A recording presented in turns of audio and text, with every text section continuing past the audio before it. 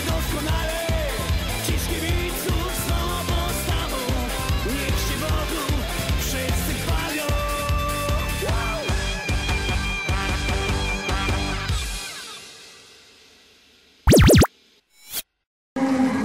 Wyjeżdżamy właśnie teraz, drodzy kibice, na górę skoczni Wisła Malinka przed serią próbną, która rozpocznie się za parę chwil.